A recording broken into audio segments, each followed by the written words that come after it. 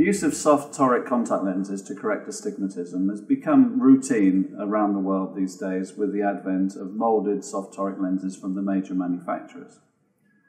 Manufacturers will normally indicate the direction of axis of a lens by use of location markers either at 6 o'clock or in the horizontal. If the lens decides not to locate exactly on axis, however, it requires a certain amount of estimation on the part of the practitioner to indicate the degree of rotation. What I'd like to show you in these next two clips is a simple method of using a regular slit lamp to more accurately determine the degree of rotation of your soft toric lenses.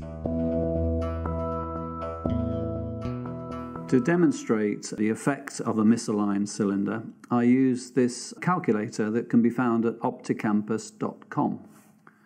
What we do is simulate the effect of an astigmatic eye by placing the necessary prescription in the top two boxes here. So here I put zero in for the spherical power, and I've put plus 275 to simulate an eye requiring a minus 275 cyl, and we'll align the axis at 180. So now let's apply our corrective lens. We need plano in the spherical power box, and this time we'll put minus 275 in the cylindrical box, and we'll put a 180 in the cylinder axis and press calculate.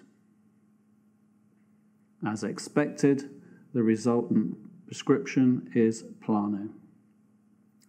Now let's just see what happens if this cylindrical correction is misaligned slightly. So we'll go back up to the cylinder axis and we'll simply change it to 170, 10 degrees off axis.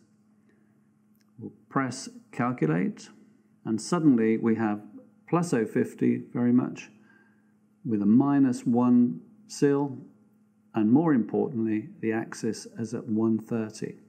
So we'll see that this cylinder, just being misaligned by 10 degrees, can induce a whole diopter of astigmatism at 130, which is going to be more distressing for the patient as it's an oblique cylinder. As the cylinder power goes up, the importance of having an accurate aligned lens increases.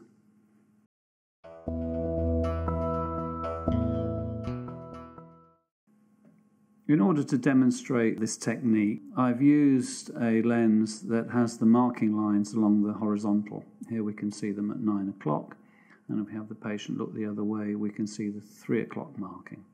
These are slightly misaligned, as you can see, and so what we'll do is to narrow the slit lamp beam and then rotate the slit lamp beam to align with the two markers.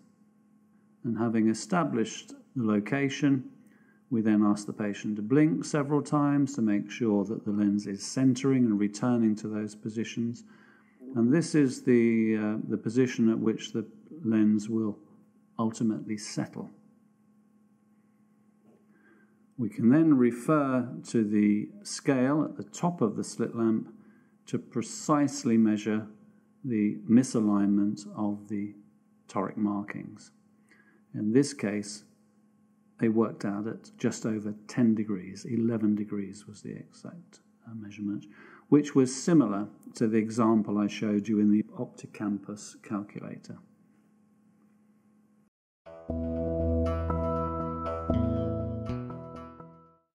The same technique can be used with the slit lamp in the vertical alignment to look at the more common marking, which is normally in the six o'clock position.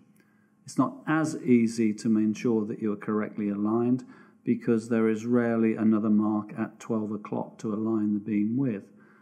However, you can locate the marking and uh, estimate the, the rotational effect much more accurately with this technique. I hope you found these two short clips interesting and useful. If you have any tips of your own that you feel you'd like to share with us, please get in touch and we'll be pleased to include them.